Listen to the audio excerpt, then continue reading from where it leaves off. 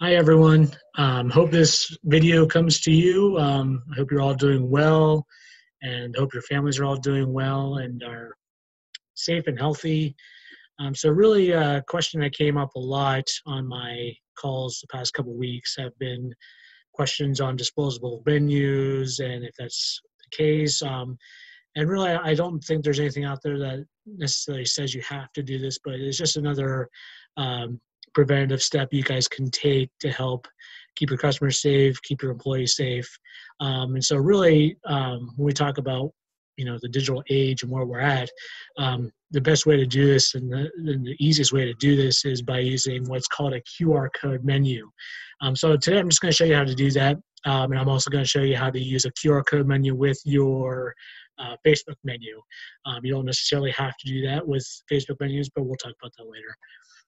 Um, so really, um, today's topics are what is a QR code and, and, and, why do you need one?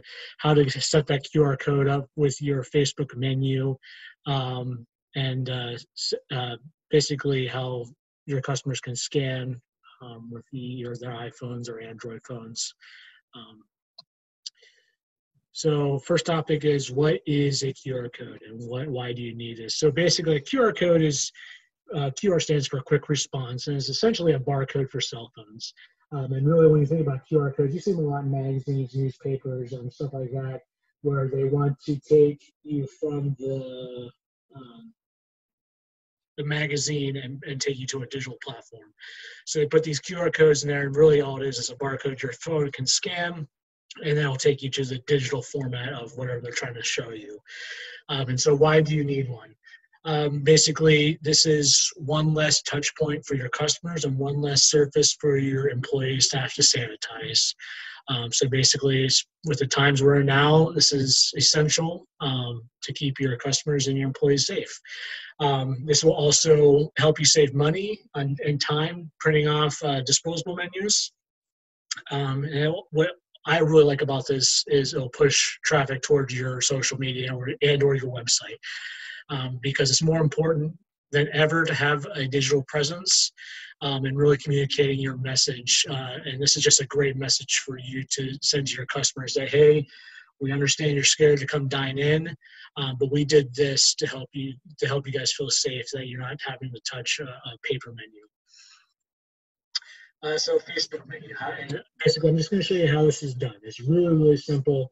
Uh, first thing, you will need a, uh, a Facebook page. You will need a business Facebook page in particular. Um, you'll go to the About section on the left-hand side, and then below that you'll see Add Menu. And then all you have to do is upload a photo or PDF version of your menu. I suggest you make a high-quality image, not you know crusted with food and all that stuff. Make sure it's high quality and uh, and then once it's done, it should notify you that your menu has been posted.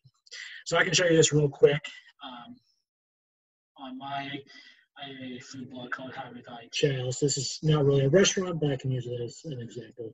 So here I am on my uh, food blog uh, on my Facebook page. And all you have to do is go to this left-hand side column, scroll down here to menu, and click on that and then you'll go over here and you'll see that I already uploaded one. Um, this is just one of our kind of generic uh, um, edible menus we have on our website. Um, so all you have to do, and I'm just going to click edit, but in your case, if you don't have one already on, you might have to hit the add button. And then you just, from your computer, just select add photos or add PDF and upload it, and it's done. Um, so once you do that, and we'll go back to the presentation here. So after you've done that, um, basically what we're going to do next is create the QR code. And how we do that, again, a very simple process. Um, so I recommend using QR Code Monkey. Um, it's just a website that is really slick. Um, makes it super simple for you. So all you have to do is, again, go to your menu page on your Facebook page, and you're going to want to uh, copy and paste that hyperlink at the top in the address. So here we are over here, you know, and go to the home page. So at the home page, scroll down to the menu page, and now all you're going to do is drag and select this hyperlink right here, um, right click, or control C and copy it.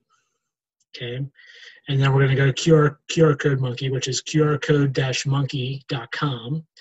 Like I said, it's just a very simple website. So all you have to do um, once it loads is enter your content. So your content being your URL. So we're just going to paste that here. There's the Facebook page. And then from here, you can really customize this. So, um, you know, you can keep it that color. Um, you can add a logo. So I'll go here. Um, I don't know where I say that, but you can upload a logo or you can just, you know, you can do a Facebook page uh, logo. You can do whatever. And then all you have to do after you, you don't have to do any of the, the customizations. You can just do it generic. Um, once you put that in there, all you have to do is come down here, create QR code, and that's pretty much it. I mean, then you can go on your cell phone, or your customers can go on your cell, their cell phones, pull up the camera app, like like so. Oh, you can see me. and then um, scan it. And then it'll ask you if you want to go to that link, and it, I said yes, and then there you go. Oh, there you go. There's the menu. Takes you right there. So all you would have to do is have this QR code in your restaurant, um, outside your restaurant, really anywhere, and uh, your customers can scan it and look at the menu or order off the menu. And then you don't have to worry about having disposable menus. Um, so we already did this part. So, and send out this, this deck as well to everybody. So you guys have these hyperlinks and information. Um, you just go to that QR monkey and, um, I, and I forgot to say too, you can use any hyperlink. So if you have a menu on your website, you're more willing to use that. I mean, really any website you can, you can copy and paste, you can make a QR code for it. It's really simple. Um, and then the last piece, if you want to print this QR code off or put it into a, uh, a QR code template, you'd have to take it, you know, the download the PDF here um, and save it to your computer and then put it into the, the, the template. Um, some, some, some ideas how to present this to customers. You can see this is probably the simple one, really simple, you know, table tent type style. Uh, just print it off, put it into a table tent uh, stand and put on tables. This customer, um, you know, print it off on a uh, outdoor sign, nice big, and then people walking by could literally scan the code and see what's on the menu. And then this customer took it a little bit step further and got actual metal plates um, fabricated and uh, permanently placed on the tables. So some pretty cool options there. Um, so again, in order to make this really easy for you guys, um, we created a whole bunch of menu templates or QR code menu templates on this website here, um, as well as a bunch of our other menu templates. So I'll take you over to here and you can see we have all these uh, takeout delivery menus, meal kits, and then right here is the QR code menus. So you just click on that um, and it will take you to the QR codes uh, templates. And we have a couple different sizes, a couple different versions. So if you wanted to, you know, make a, a big poster board type one, you can do that through here. Um,